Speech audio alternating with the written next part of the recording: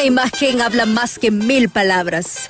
Con una gran sonrisa y aplaudiendo con mucha emoción el gol de Honduras en el estadio Chelato Uclés, fue captado este joven, Pablo Reyes, quien perdió su vista hace cuatro años, pero eso no fue impedimento para querer vivir la pasión por el fútbol.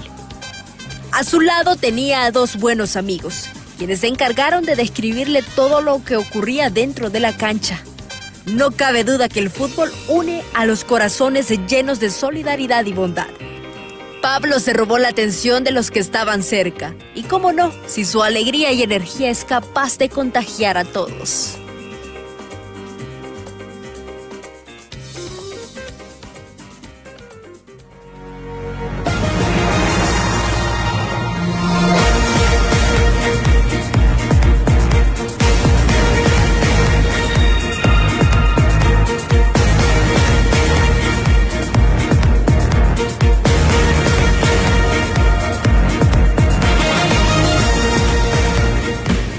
Los mayores límites están en la mente, porque cuando las emociones fluyen no pueden esconderse. Qué bonito ver a personas disfrutando de algo que muchos aún no han logrado o aprendido a valorar. Es realmente el fútbol, esa pasión, esa alegría, el buen ambiente. Este video nos hace reflexionar de los afortunados que somos, el poder hacer todo lo que está a nuestro alcance mientras haya vida.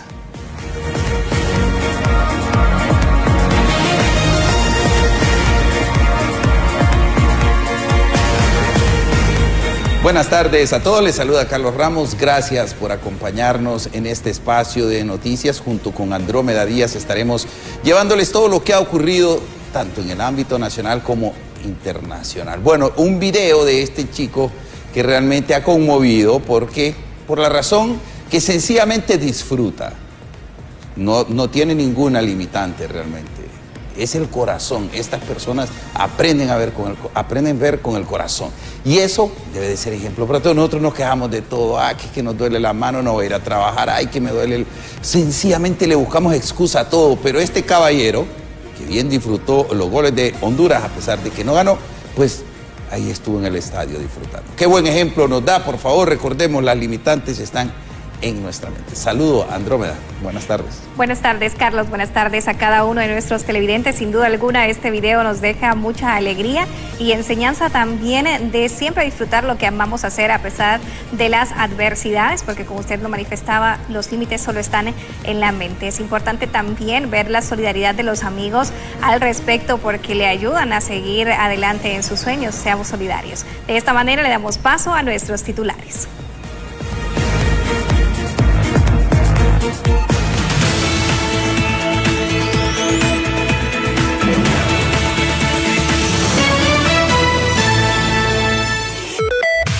Titulares Impacto BTV Meridiano.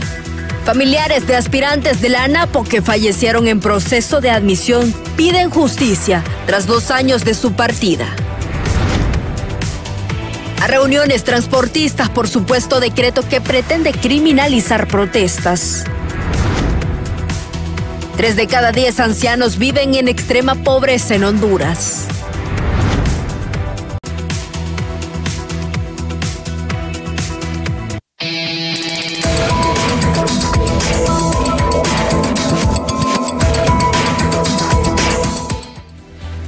Iniciamos nuestra agenda informativa dándole a conocer que familiares de los tres aspirantes a policías muertos en la NAPO exigen una respuesta al Ministerio Público a dos años de la tragedia. Nuestro compañero Walter Pérez a esta hora de la tarde nos trae los detalles. Buenas tardes.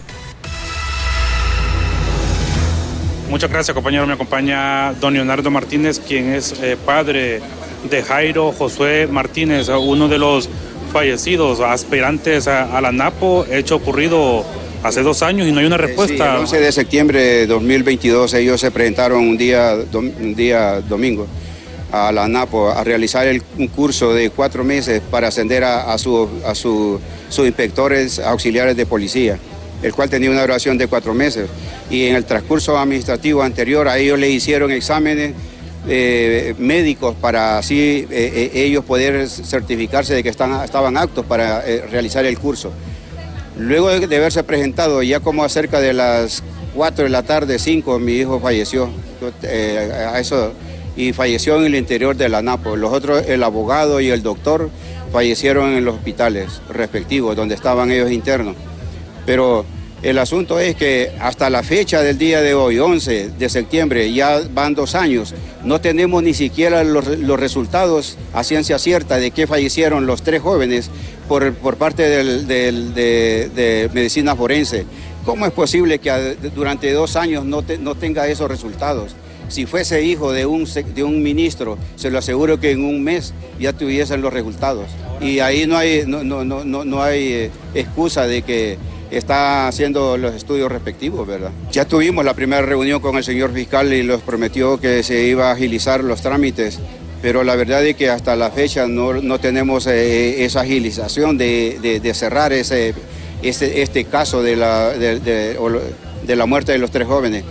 Y, y, por eso estamos presentes acá, porque si no tenemos respuesta del Ministerio Público, estamos aquí para presentarle un escrito al fiscal para que así agilicen estos trámites y cierren el caso y presenten los requerimientos fiscales y paguen los responsables por omisión, por intelectuales y por actores, porque los hay y los hay. Nosotros tenemos los, documentos donde los reza que hay. Y el señor ministro de Seguridad mintió, dijo de que no había dolo y ahí hay dolo. Y esto ya se mira como eh, un asunto que están ya engavetando estos documentos. Gracias, Antonio Leonardo Martínez, quien es padre de Jairo Martínez, una de las víctimas que prácticamente dio de mucho de qué hablar en este incidente ocurrido en el sector de la Napo. Tres estudiantes que tenían un sueño, pero lastimosamente se vio truncado. Mi reporte hasta ahora, compañeros. Gracias, Walter. Ojalá y le den pronta respuesta a estos compatriotas. Y en otro tema, ya han llegado a los bajos del Congreso Nacional un grupo de maestros y también entendemos de algunos empleados públicos exigiendo la pronta aprobación de la ley del imprema. José Luis Castellanos nos tiene detalles. José Luis, buenas tardes.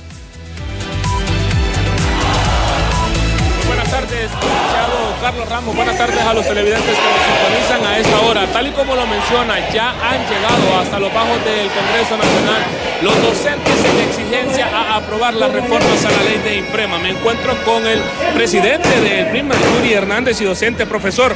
Ya han llegado, ya se siente la presencia de ustedes aquí en el Congreso Nacional. La principal exigencia que traen este día. Buenas tardes. Buenas tardes a todo el auditorio y televidentes de este precioso programa. En efecto, el día de hoy hemos hecho un ensayo con cinco departamentos. Eso le indica que el 99% de docentes están a favor de la reforma.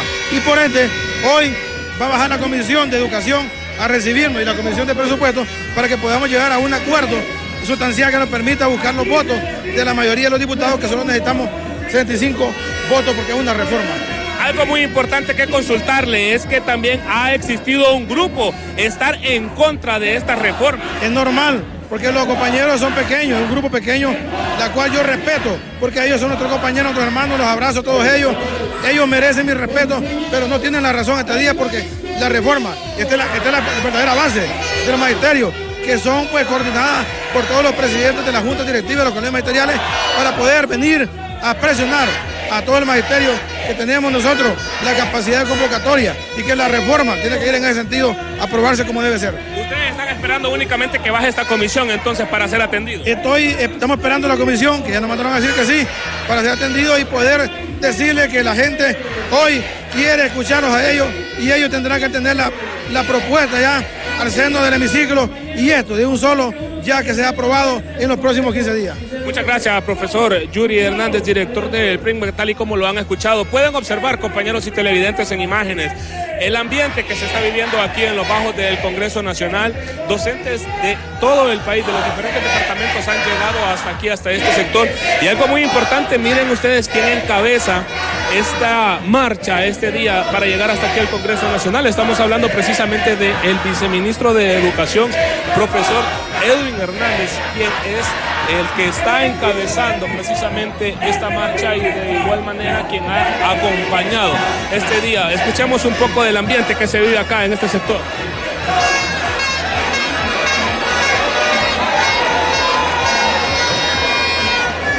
Únicamente a la espera, tal y como lo mencionaba el el profesor Yuri Hernández ya de que ser atendidos por la Comisión de Presupuesto y de igual manera de Educación, ya que serían ellos los encargados de venir a plantearles los consensos que han existido aquí en el Congreso Nacional para que se pueda aprobar estas reformas a la ley de imprema, pese a que algunos sectores manifiestan no hay todavía estos consensos para que se pueda incluir en agenda y de igual manera que se pueda aprobar. Nos mantendremos en el lugar, compañeros, a la espera de que pueda bajar esta comisión y poder darles eh, un avance de cómo se desarrolla la situación aquí en los bajos del Congreso Nacional. Hasta el momento, de manera pacífica se ha desarrollado esta marcha, únicamente están esperando que llegue esta comisión. No sé si tienen alguna consulta desde estudio, compañeros. Si no, yo retorno con ustedes. Gracias, José Luis, por esta importante información referente a lo que está pasando a los bajos del Congreso Nacional con los docentes, donde al parecer el 95% se mantiene en afirmación o quedar con que quieren esta ley de imprema y las reformas a la misma. Continuando con más, autoridades de las Fuerzas Armadas tienen ya listo un plan operativo con más de mil efectivos para brindar seguridad en las próximas fiestas patrias. En ese sentido, más de mil integrantes del Ejército, Fuerza Aérea, Fuerza Naval y Policía Militar del Orden Público asignados a la Fuerza de Tarea Francisco Morazán se incorporarán a los operativos de seguridad. Ellos estarán realizando lo que son patrullajes, eh, puntos de control, registros en toda la ruta eh, del desfile y también tendremos presencia dentro del Estadio Nacional. La seguridad está garantizada por parte de las Fuerzas Armadas y otros cuerpos de seguridad y también de socorro. Son varios anillos de seguridad, Mario. Van a haber algunas arterias que dan acceso al estadio que van a estar completamente cerradas. Así es, se han conformado varios anillos de seguridad en los cuales habrá presencia de miembros de las Fuerzas Armadas, eh, de la Policía Nacional. También se estará contando con el apoyo de personal de Copeco, de la Cruz Roja, del Cuerpo de Bomberos, de la Alcaldía de Tegucigalpa y otras instituciones. Estamos ya listos para eh, esta misión que se nos ha encomendado. Hacemos la invitación también a todo el pueblo hondureño para que eh, acuda a esta celebración del 203 aniversario de Independencia Patria. La seguridad está garantizada por parte de las Fuerzas Armadas y otros cuerpos de seguridad del Estado.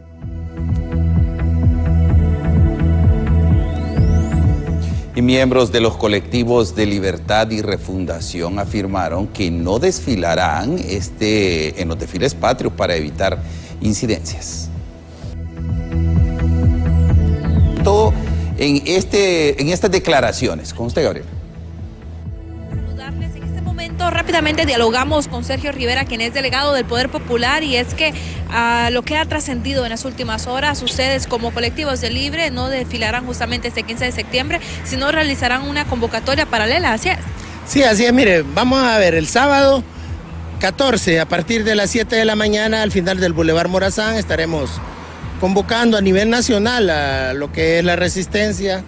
Eh, nos movilizamos rumbo al Estadio Nacional José de la Paz Herrera, donde tendremos un encuentro con nuestra presidenta Xiomara Castro. Respecto a este mismo, Sergio, eso se debe ante la incidencia que ha pasado en los últimos días para evitar cualquier tipo de aglutinamiento o acciones pues confrontativas, ¿o cómo lo ven ustedes? Sí, pero mire, el domingo vamos a ir al estadio, pero como público, a las gradas. El sábado nos movilizamos y se decidió no hacer el mismo 15, porque el año pasado era local la actividad y duró dos horas. Eh, tardamos dos horas en darle la vuelta al estadio y salir. Hoy, que es a nivel nacional, incluso podría durar el doble o el triple. Y por lo tanto, eso no es prudente para los niños y niñas y jóvenes que se han preparado con ahínco para las actividades de este 15 de septiembre. Por eso se va a realizar el 14, un evento de la resistencia, eh, y el 15, pues en armonía al Estadio Nacional. Con respecto a esto mismo, un mensaje para la población hondureña, a guardar la paz y sobre todo la tolerancia. Bueno, sí, es que mire, nosotros tenemos que propiciar eventos donde el fin no sea irse a garrotear unos con otros, donde sea construir una nacionalidad colectiva en armonía. Eh, esperamos que la oposición, que también exista esa prudencia. Todo el mundo tiene derecho a gritar, expresarse, pero ya planificar eventos de agresión no, no es prudente absolutamente para nadie.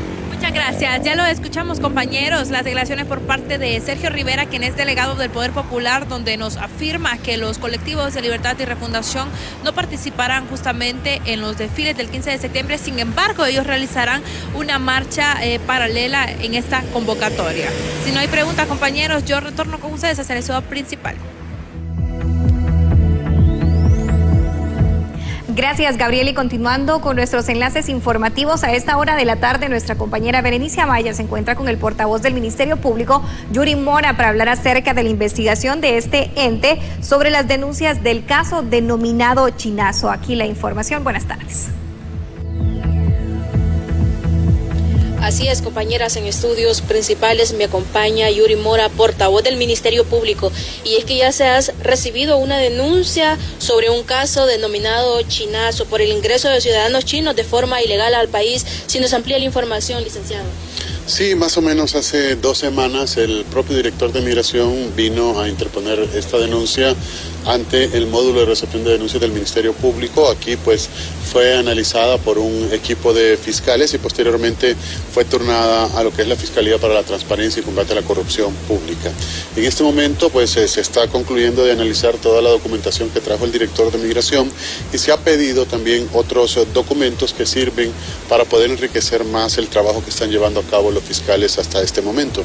Posterior a esto y obtener toda la información que se ha solicitado, es cuando los fiscales van a decidir qué personas son de interés para poderla citar y que rindan su declaración. Aquí este caso involucra a dos instituciones, abogado. Bueno, eh, en eso eh, estamos en el proceso investigativo. Quien trajo la denuncia fue justamente el director de migración y en este momento pues no podríamos determinar exactamente quiénes son las personas involucradas porque estamos en, la etapa de análisis de documentación y se está solicitando otros, eh, otros eh, documentos, valga la redundancia, que son necesarios para el proceso investigativo. Anteriormente ya se habían recibido estas denuncias, abogado. Bueno, de, casos sobre ciudadanos orientales en realidad... Eh, Hace mucho que no conocíamos que se hayan eh, denunciado aquí ante el Ministerio Público, sin embargo, eh, este caso sí fue hace dos semanas que el propio director de Migración eh, interpuso la denuncia. ¿Se estarán brindando detalles más adelante en torno a esta investigación? Sí, claro, una vez que los fiscales concluyan y ellos determinen que hay algún requerimiento fiscal, por supuesto que lo vamos a dar a conocer en su momento. Bien, ya hemos escuchado las declaraciones de Yuri Mora, portavoz del Ministerio Público, en torno a esta nueva investigación denominada Chinazo. Con esa información retornamos a estudios principales. Buenas tardes.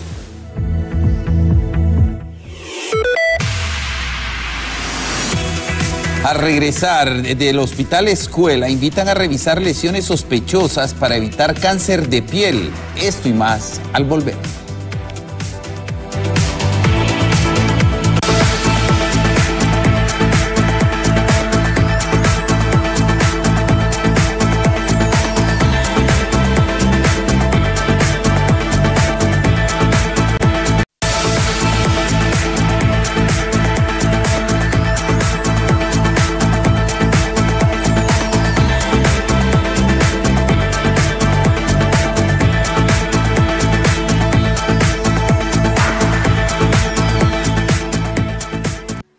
Continuando con más a esta hora de la tarde, te traemos excelentes recomendaciones. Disfruta un día a la vez con el combo del día de Sudway. Disfruta una opción de Sud por un día más una bebida de 16 onzas y una galleta por solo 141 lempiras. El combo del día se disfruta solo en Sudway.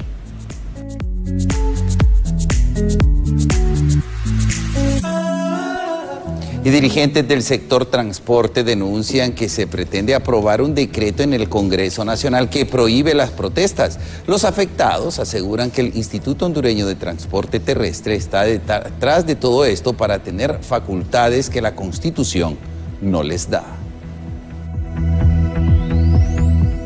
Que hay un decreto que enviado por el Instituto Hondureño de Transporte Terrestre donde no se consensuó con el rubro de transporte como parte interesada de ese decreto pero vemos que este decreto es lesivo, violatorio de derechos humanos y derechos que nos da la Constitución de la República, como ser el derecho a la protesta.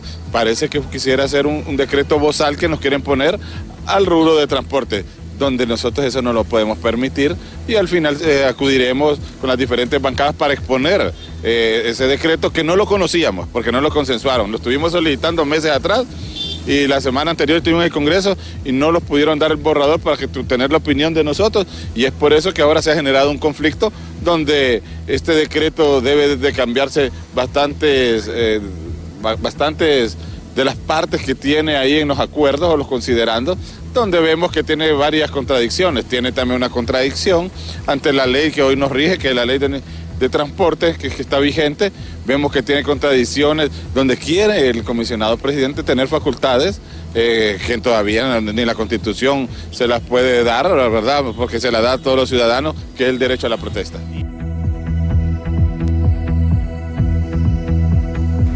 Y siguiendo con más, el oficial de política económica del Consejo Hondureño de la empresa privada, Alejandro Cafati, brindó su opinión sobre el aumento de más de 23 mil millones de lempiras en el presupuesto para el año 2025 y pide que se pueda visualizar dónde van dirigidos todos estos fondos y evitar cualquier caso de corrupción en cuanto a esta herramienta para fomentar empleos para el pueblo hondureño.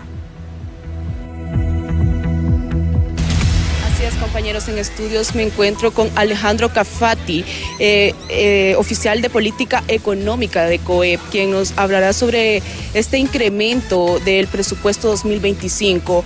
Eh, por parte del COEP, ¿están de acuerdo con este presupuesto? Bueno, nosotros estamos analizando aún el presupuesto general de la República. Hasta el día de ayer fue presentado al Congreso Nacional y publicado por la Secretaría de Finanzas del presupuesto, aún estamos haciendo los análisis, hemos encontrado un incremento alrededor del 5.8% del presupuesto eh, que se espera aprobar en el Congreso en comparación con el presupuesto aprobado en 2024, son más de 23 mil millones de lempiras adicionales que se esperan aprobar para el 2025, haciendo un presupuesto total de 430 mil millones de lempiras. Al final lo que andamos buscando como sector privado es poder transparentar la utilización de estos fondos públicos para hacerlo primero de manera eficiente y eficaz y segundo, poder reducir cualquier especulación que se dé en torno a utilizar los fondos del presupuesto para financiar o proselitismos políticos o campañas electorales, entendiendo que en el 2025 tenemos tanto el proceso primario como general de las elecciones eh, entre los partidos políticos. ¿Esto podría traer algún beneficio negativo para la población? Bueno, es lo que estamos analizando. Hasta este momento esperamos que no haya ningún eh, impacto negativo son más de 97 mil millones de lempiras que hay en inversión social y más de 26 mil millones de lempiras en inversiones productivas. Hay que visualizar hacia dónde van dirigidos y cómo se van a canalizar estos fondos para poder manejarlos de manera transparente y evitar cualquier caso de corrupción en medio de un proceso electoral eh, que se espera celebrarse en noviembre y marzo del 2025 tiene beneficios es aumentar este presupuesto año tras año? Bueno, nosotros es algo de una de las preguntas que nos hemos planteado con el inicio de este análisis del presupuesto. Todos los años se incrementan los presupuestos, pero los beneficios para la población y la economía parecen no llegar, ¿no? Tenemos la misma cantidad de población en condiciones de pobreza, la economía prácticamente está estancada no estamos generando eh, empleos nuevos que eh, generen mayores ingresos para la población, sobre todo formales, y necesitamos que este presupuesto realmente sea una herramienta de prosperidad y desarrollo para el pueblo hondureño. Así es, muchas gracias. Con esta información regresamos a estudios. Gracias, Catherine. Y compartimos con ustedes los datos de impacto de hoy, 11 de septiembre, y es en relación a las personas o cómo ha afectado las muertes en Honduras, cómo han incrementado la comparativa entre 2023 y julio de 2024, al menos 11.294 personas murieron en Honduras, clasificándose como la segunda nación más violenta en América Latina. En 2023 se registraron 3.361 homicidios, siendo la causa principal de muerte 43,8%. Además, se registraron 2.007 eh, fallecimientos en accidentes de tránsito, es decir, un 26,1%, y 1.443 muertes causadas por no intencionales, que es un 15%. El resto se compone de 662 decesos por causa de indeterminadas y 564 suicidios, que en conjunto suman el 15,2%. De los homicidios registrados el 87,8%, es decir, 2.951 personas, fueron hombres y el 12%, es decir, 410 mujeres. Además, se observó que el 71,6% de los homicidios, es decir, 2.405, se cometieron con arma de fuego, es decir, el 15,5%, es decir, 520 personas con arma blanca y el 6%, 201, con arma contundente. En términos de rango de edad, los más afectados por la violencia en el país son los comprendidos entre 25 a 29 años. Datos de impacto de hoy, miércoles 11 de septiembre.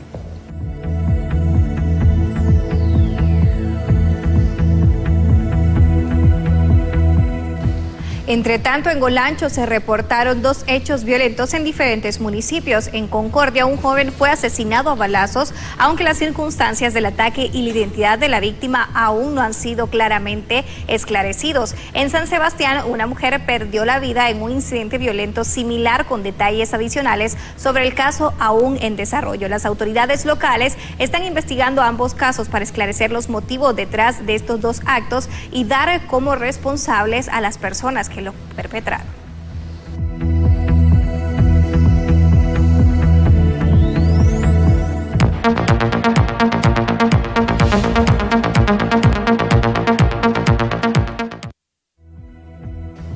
Y el Hospital Escuela invita a toda la población hondureña para que la próxima semana puedan llegar y revisarse de lesiones en la piel para evitar cáncer en la misma la doctora Nora Escoto, jefe de la consulta externa de dermatología del Hospital Escuela. En esta ocasión estamos invitando a la población en general a que vengan en la semana del 16 al 20 de septiembre a la semana de detección de cáncer de piel. Esta semana la hacemos ya que eh, queremos que la población se revise sus lunares, se revise sus lesiones sospechosas de cáncer de piel. ¿Cuáles son las lesiones que tenemos que estar pendientes?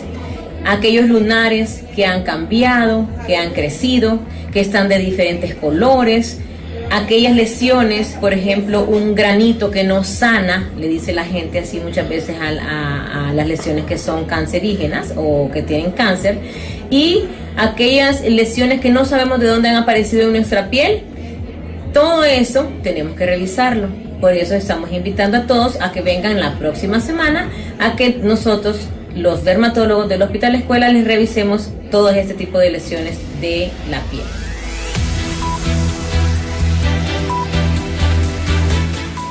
Continuando con más, autoridades médicas del macrodistrito de Las Palmas informaron una reducción en casos de dengue. Sin embargo, esta enfermedad suma varios decesos en lo que va de este año 2024. Nuestra compañera Mariela Manzanares nos amplía este informe. Buenas tardes.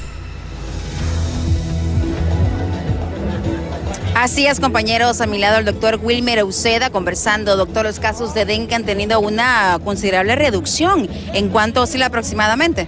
Bueno, hemos visto una ligera reducción en la semana 34, hubieron casi 100 casos menos en lo que va de la ciudad de San Pedro Sula y en la semana anterior, la 35, pues ha habido una reducción de casi 200 casos. Esperamos básicamente que lo que es el canal endémico a partir de ahora pues ha empezado a disminuir y empezamos a ver una disminución sustancial de los casos de dengue en la ciudad. Sin embargo, tampoco es señal para que la población baje la guardia. No, yo creo que deberíamos de seguir intensificando. Hemos seguido trabajando con un medio de comunicación de la ciudad en cuanto a lo que es el programa de Barrio Limpio. Lo seguimos haciendo y mientras existan casos y no logremos bajar el grado de positividad en lo que va de la ciudad, pues seguiremos trabajando por ello.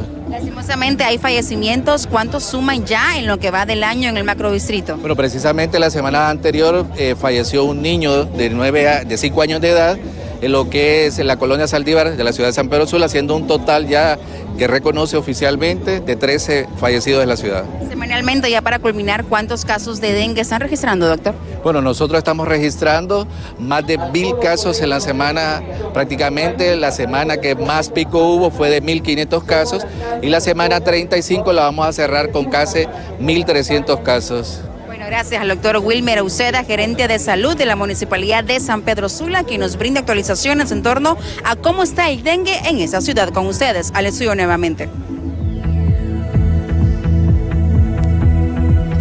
Gracias, Mariela. Y aunque la Secretaría de Salud aún no ha publicado el boletín epidemiológico correspondiente a la semana 36 a 37, el doctor Lorenzo Pavón, jefe de la Unidad de Vigilancia de la CESAL, informó que en la última semana se registraron cerca de 8.300 nuevos casos. Al comparar los datos de la semana anterior a, a la jornada de limpieza que se realizó, cuando se registraron 9.349 casos, con los 8.300 de la última semana. Los cálculos indican que el país ha registrado una baja aproximadamente de mil casos semanales. En el Distrito Central, algunas colonias como la Kennedy, el Ato de En Medio, continúan presentando cifras rojas.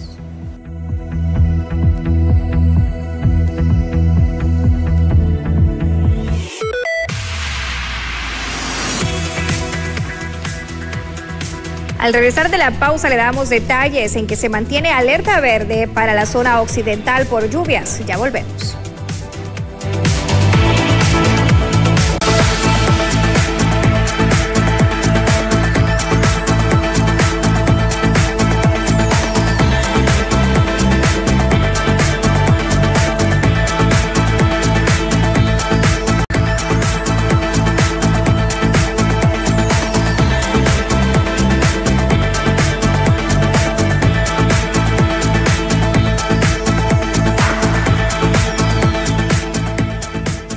Seguimos informándole y en el sector del Mejocote se produjo un accidente vehicular tipo volcamiento en el que una rastra que transportaba una retroexcavadora se volcó.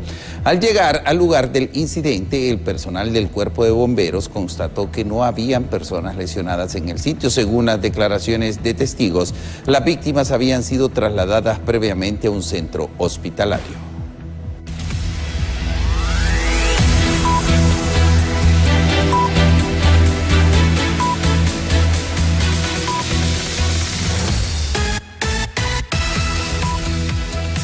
Y en un 14.7% bajó la violencia en el país según un informe presentado por el Observatorio de la Violencia de la Universidad Nacional Autónoma de Honduras recientemente.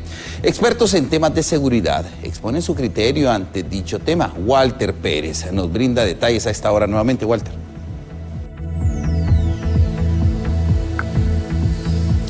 Muchas gracias, compañero. Me acompaña el abogado y criminólogo Gonzalo Sánchez, abogado en torno a este informe presentado el día de ayer por el Observatorio de la Violencia, donde arroja una importante reducción eh, en la violencia en el país, pero la percepción de la población es otra, abogado. Claro, ya lo dije anteriormente. Si a un ciudadano le matan un familiar o le roban en un autobús o en un taxi, lo que sea, lógicamente va a decir que, la percepción va a ser otra.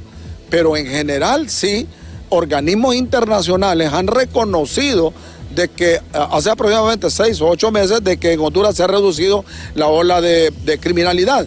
Y esto se vio reflejado ya con las estadísticas que acaba de brindar eh, la, Universidad Nacional Autónoma de Honduras. Entonces sí se han reducido los niveles de criminalidad y la percepción del ciudadano va a ser eh, objetiva o subjetiva.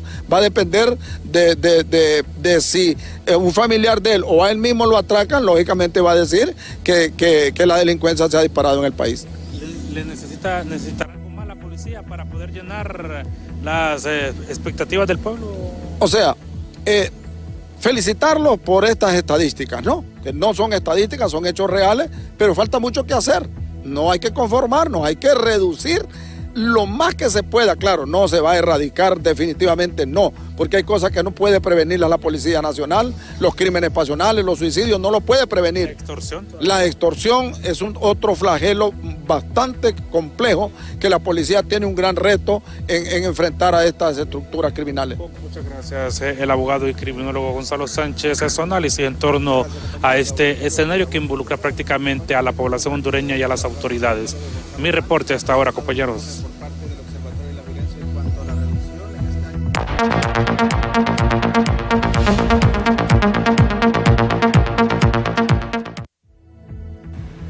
Siguiendo con más autoridades de la Secretaría de Desarrollo Social en conjunto con Sociedad Civil socializaron políticas para protección del adulto mayor. Nuestra compañera Gabriela Plata nos amplía más los detalles a esta hora de la tarde. Así es, muchas gracias compañeros, un placer saludarles. En este momento rápidamente dialogamos con Mirta Gutiérrez, quien es la viceministra de la Secretaría de Desarrollo Social, ante esos datos alarmantes y es que tres de cada diez personas adultos mayores viven en extrema pobreza y ante ellos se está socializando una política nacional de protección para esas mismas personas. Sí, desde la Sede Sol tenemos el mandato de crear políticas públicas y líneas estratégicas para el abordaje por parte del Estado a las diferentes poblaciones en situación de vulnerabilidad. Una de esas poblaciones son las personas adultas mayores, de las cuales usted ya nos ha dado los datos de que 3 de cada 10 personas viven en situación de pobreza, pobreza extrema. En ese sentido, esta política eh, le apuesta a un abordaje integral para la garantía, la promoción y la protección de derechos fundamentales para las personas adultas mayores. Conlleva un proceso altamente participativo, hemos viajado a nivel nacional a los distintos espacios donde están las personas adultas mayores y sobre todo esa diversidad. Hemos también visitado centros penitenciarios donde hay personas adultas mayores, estamos también visitando distintas... Eh, municipios, poblaciones, aldeas, en donde están también las personas adultas mayores. Tenemos también un cruce de información con las personas que atiende la red solidaria, que son eh, son aldeas que están focalizadas por el gobierno de la presidenta para atender a las poblaciones altamente en pobreza y hemos encontrado una gran cantidad de personas adultas mayores que también están recibiendo los beneficios de la red solidaria. Entonces, en ese sentido, eh, la política se está construyendo de forma integral con la participación de muchas instituciones del Estado que son garantes de derechos humanos y eh, los enfoques son... Eh, bueno, una es el enfoque de derechos, el siguiente es el enfoque de protección social, es decir, el Estado debe de serse responsable para que esta persona pueda vivir en bienestar, con una buena vejez, digna, pero sobre todo también eh, que el Estado pueda proteger sus derechos y aplicación de la ley general eh, para adultos mayores y jubilados. En ese sentido, pues estamos trabajando y lanzando los lineamientos generales que llevará esta política, que será de gran apoyo para que el, el Estado por fin pueda responder a esta deuda histórica. Bueno, muchas gracias. Ya lo escuchamos, compañeros, las declaraciones por parte de la viceministra de Cedo Sol, Mirta Gutiérrez, en referencias hacia la, acerca de la socialización por parte de esta política en protección al adulto mayor. Con este informe, compañeros, yo retorno con ustedes hasta el liceo principal. Gracias, Gabriela. Y la ola de desempleo afecta a la comunidad LGBTIQ. debido a ello, se ven obligados a elaborar servicios sexuales, incrementando los niveles de prostitución en San Pedro Sula nombre de la población LGBTIQ pues hacer visibilidad de que la población LGBTI en general eh, experimenta un alto índice de, desempleo, ¿verdad? Pero cabe mencionar que la población más afectada es la población trans. ¿Por qué razón? Porque cada vez que las personas trans nos apersonamos a un espacio laboral donde evidentemente hay una plaza vacante, ¿verdad? Y las personas trans podemos específicamente cubrir todos los requisitos necesarios para optar a esta plaza vacante, pero simple el hecho de entregar nuestro currículum vitae, de, entregar nuestros documentos personales y darse cuenta que somos personas trans, que nuestra, nuestros datos no corresponden a la identidad y a la expresión de género a la que estamos presentando eh, al momento de, de requerir el empleo, simplemente nos dicen, le vamos a llamar. Esta llamada nunca ha llegado. Eh, dándonos cuenta de esto, nos, damos, eh, nos permitimos ver de, que la población trans eh, tiene muy limitadas opciones. El trabajo sexual como primera opción y algunos trabajos informales, ¿verdad? El hecho del cuidado del hogar, el cuidado del estilismo, perdón, y algunas ventas informales. Desde este punto de vista, el catálogo de opciones para la población trans es muy limitado. Con más en los próximos meses, las exportaciones de los productos que se exportan a China se incrementarán, entre estos el valor del café hondureño, melones, mariscos y otros productos de primera necesidad, lo que generará una inversión mayor para Honduras y un desarrollo económico. Esta relación diplomática entre China y Honduras está eh, facilitando mucho una gran oportunidad para mayor exportación, para mayor eh, producción, para mayor empleo, sobre todo para mayor beneficios, ganancias compartidas entre ambas partes. Sobre todo se llega directamente a los productores, a los trabajadores, a los empleados. Entonces estamos muy contentos de que eh, gracias a los esfuerzos de ambas partes, eh, por el apoyo mutuo, eh, los apoyos mutuos entre dos gobiernos, eh, la exportación de café, de camarón y muy próximamente para banano, para melón o para tabaco, para otros productos importantes de Honduras, eh, tendrá como todo un mejor, eh, una mejor perspectiva, un mejor amplio horizonte, porque está, anda muy bien con muchos éxitos, avances eh, de, de café. Últimamente la feria que se lleva en cabo, que se llevó en, cabo en China, eh, se firmaron muchos contratos para con mayor exportación de café. Y también estamos contentos de tener eh, exportación de camarones, eh, los primeros eh, contenedores. Y se espera como con más eh, esfuerzos de promoción y de trabajar trabajo conjunto puede como hacer más exportaciones de camarones al mercado de, de, China, porque importamos muchos camarones. Anualmente importamos cerca del millón. Bien, amigos, compañeros, Entonces, visitantes, la pobladores de puede de la Villanueva Sector para 2. llegar al mercado de China. Ahora sí, Eso-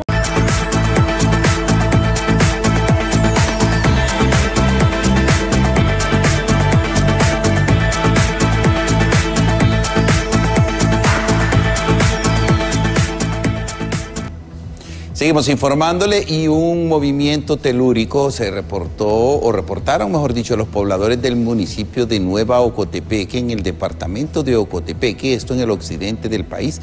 Según se informó, a eso de las 2.38 de la madrugada de este miércoles se sintió un leve sismo. El epicentro se situó en el departamento de Ocotepeque con una magnitud de 2.4 en escala abierta de Richter y una profundidad de 2 kilómetros. Las autoridades de Copeco hacen un llamado a la población a tomar medidas, eh, todas las medidas recomendadas que se da para un sismo.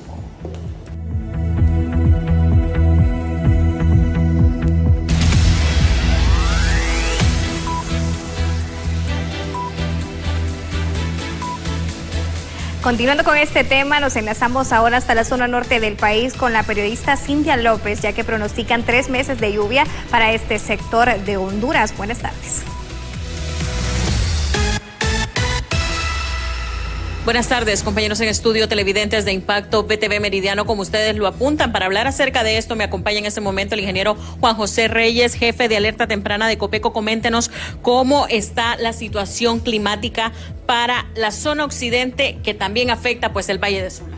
Muchas gracias. Bueno, de acuerdo a los pronósticos que realizan los compañeros de Senados en su perspectiva climática para los meses de septiembre, octubre y noviembre, pues eh, vamos o estamos ya en la temporada de mayor precipitación.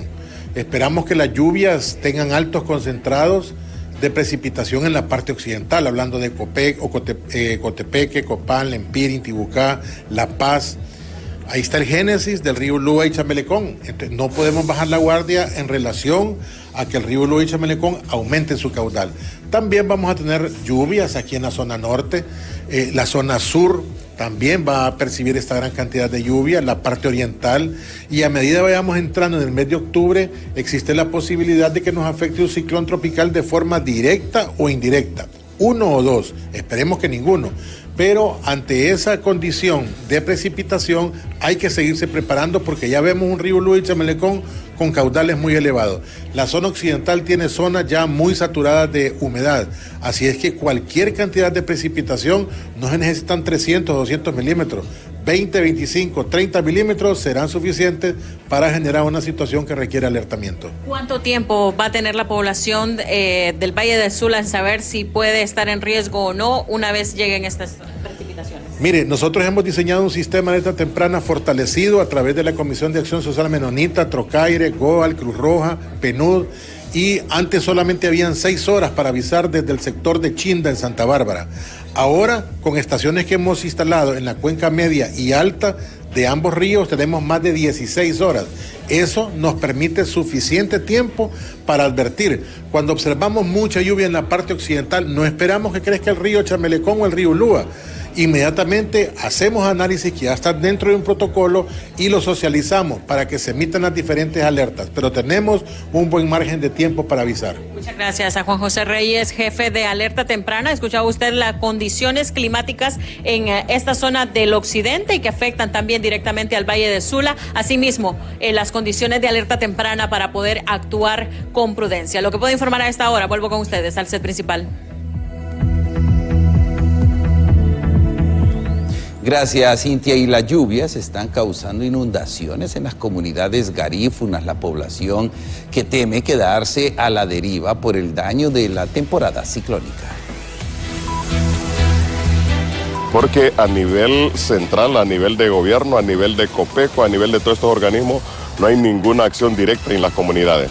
Pues listos, hay que tener el cayuco por ahí, bien guardadito, hay que tener la tarima para subir las cosas hay que tener todo el mundo ya educadito en su casa para que pues eh, apliquemos el plan. De contingencia que lamentablemente tenemos que hacerlo porque no hubo ninguna acción de mitigación. Más del 85% de las comunidades garífonas están en situación de riesgo, son vulnerables e, e inclusive algunas comunidades nuestras deben ser reubicadas, estamos claros en eso. Tiene mucho que ver con los vecinos que han llegado a nuestra zona, pues, y han hecho bordos y todo lo demás. Somos vulnerables, somos comunidades que están en situación de riesgo. Y con lo que ocurre en el río Ulúa y el río Chamelecón, más las quebradas que tenemos cerca, ciertamente ya estamos preocupados. Bueno, brevemente, ante esta afectación que están dejando las lluvias que no cesan en horas nocturnas, el turismo en sector de tela reduce.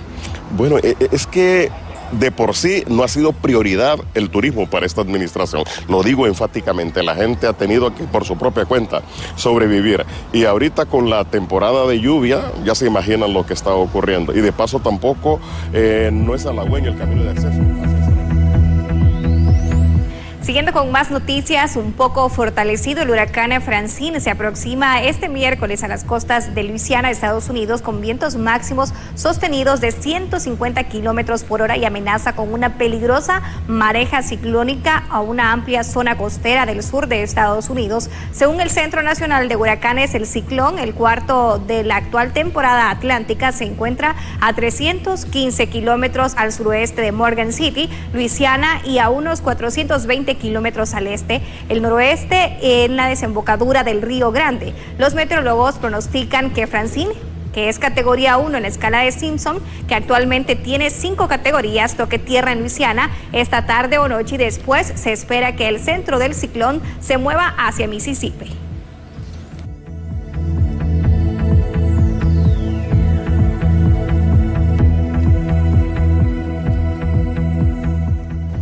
Y el Consejo Nacional Anticorrupción ha presentado este día cuatro líneas de investigación, esto para algunas alcaldías del país. ¿Cuáles son los resultados de esta investigación?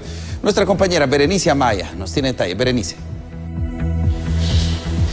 Así es, compañeros en estudios principales, buenas tardes. Me acompaña el abogado Luis Urbina, jefe de la Unidad de Investigación del Consejo Nacional Anticorrupción. Y es que se han denunciado ciertas irregularidades en, alcaldías y nos amplía la información de qué se trata.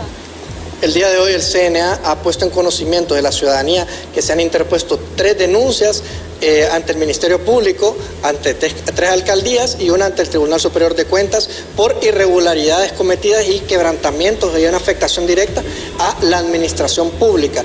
Eh, los denunciados son en la alcaldía municipal de La Ceiba por eh, las contrataciones directas que se llevaron a cabo desde noviembre del año 2022 hasta marzo del año 2024 sin tener la autorización requerida por parte de la corporación municipal, duplicidad de contratos, fraccionamiento de los mismos y además de beneficiar directamente declarar, mediante la declaración de procesos fracasados de licitación, donde solamente se busca brindar una cara para favorecer a, sociedades mercantiles. Es por ende que se denunció al actual alcalde, el señor Bader Dip, y tres representantes de dos sociedades mercantiles que han sido beneficiadas con la erogación de más de 21 millones de lempiras desde noviembre del año 2022 a eh, marzo del año 2024. Por otra parte, se denunció al actual alcalde, el señor Pedro Escalante, de Gracias Lempira, por eh, el proyecto de mejoramiento vial, donde podemos denotar dos puntos de interés. En primer lugar, un contrato suscrito el 1 de abril del año 2022 y en otro lugar, el 11 de julio del 2022 se suscribe un mismo contrato, pero la diferencia es, uno es de 2.8 millones de lempiras y otro de más de 11 millones de lempiras.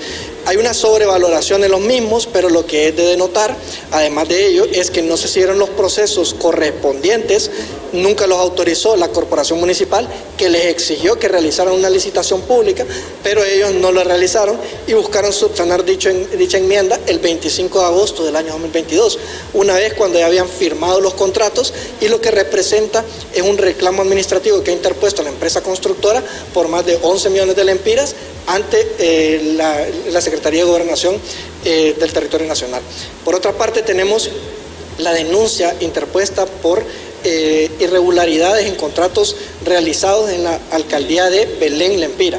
Este aspecto es contra un exalcalde en virtud de contrataciones que realizó desde el año 2020 y 2021 eh, por medio de favorecer a una persona que se encontraba inhabilitada de conformidad al artículo 15, numeral 4 de la Ley de Contratación del Estado, en virtud de que ostentaba la, condición de funcionario público, como ser un regidor de la Municipalidad de Gracia Lempira, para favorecerlo con contrataciones directas para que llevara a cabo proyectos de electrificación que no solamente quedaron incompletos, sino que presentaban deterioros, no cumplían los requisitos Bien, muchas gracias. Hemos escuchado al abogado Luis Urbina, jefe de la unidad de investigación del CNA, en torno a estas denuncias que ha interpuesto el Consejo Nacional Anticorrupción. Con esta información retornamos a estudios principales. Buenas tardes.